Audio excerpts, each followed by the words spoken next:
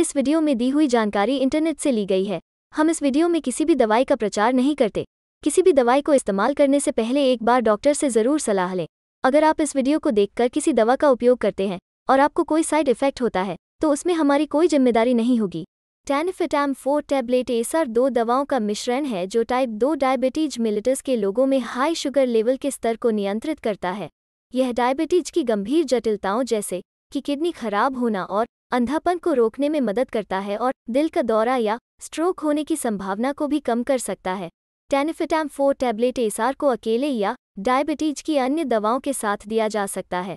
सभी डायबिटीज़ दवाएँ स्वस्थ आहार और नियमित व्यायाम के साथ इस्तेमाल करने पर अच्छी तरह से काम करती हैं। आपको जो डोज दी जाएगी वो आपकी कंडीशन ब्लड शुगर लेवल और आपके द्वारा ली जाने वाली अन्य दवाओं पर निर्भर करेगी। इसे भोजन के साथ लेने से पेट की खराबी की संभावना कम होती है। अधिकतम लाभ पाने के लिए आपको इसे नियमित रूप से हर दिन एक तय समय पर ही लेना चाहिए और जब तक डॉक्टर सलाह न दे तब तक इसे लेना बंद नहीं करना चाहिए। यह आपके ब्लड शुगर लेवल को नियंत्रित करता है और भविष्य में होने वाली गंभीर समस्याओं को रोकने में मदद करता है। इस दवा के सेवन के दौरान डॉक्टर द्वारा बताए गए डाइट और व्यायाम से जुड़े दिशानिर्देशों का गंभीरता से पालन करें। आपकी जीवनशैली डायबिटीज़ को नियंत्रित करने में एक बड़ी भूमिका निभाती है। डायरिया, यानी कि दस्त, मिचली आना, उल्टी, पेट खराब होना, सिर दर्द और गले में खराश आदि इस दवा से होने वाले आम साइड इफ़ेक्ट हैं। अगर आप इंसुलिन या सल्फोनिल्यूरिया जैसी डायबिटीज़ की अन्य दवाएँ भी ले रहे हैं तो संभव है कि साइड इफ़ेक्ट के रूप में ब्लड शुगर लेवल लो, यानी कि हाइपोग्लाइसीमिया हो जाए। इसलिए आपको जानना होगा कि इसे कैसे पहचानना है और इससे कैसे निपटना है। यह दवा सभी के लिए उपयुक्त नहीं है। यदि आपको किडनी, लीवर या हृदय रोग या अग्न्याशय की समस्या है या यदि आप बहुत अधिक शराब पीते हैं तो इसे लेने से पहले डॉक्टर को बताएँ।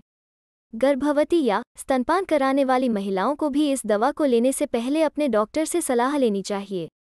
कुछ अन्य दवाएँ इस दवा के असर को प्रभावित कर सकती हैं, इसलिए आप जो भी दवाएँ पहले से ले रहे हैं, उसके बारे में डॉक्टर को बताएँ जिससे आप सुनिश्चित हो सके कि यह दवा आपके लिए सुरक्षित है। आपको शराब पीने से परहेज करना चाहिए क्योंकि यह ब्लड ग्लूकोज को कम करता है। आपके डॉक्टर इलाज शुरू करने से पहले और इलाज के दौरान आपके किडनी फ़ंक्शन और ब्लड शुगर के लेवल की जाँच करेंगे।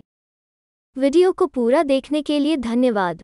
अगर आपको वीडियो अच्छी लगी हो तो वीडियो को लाइक करें और साथ ही हमारे चैनल को सब्सक्राइब करके नोटिफिकेशन बेल आइकॉन पर क्लिक करें और ऑल नोटिफिकेशन को क्लिक करें। धन्यवाद।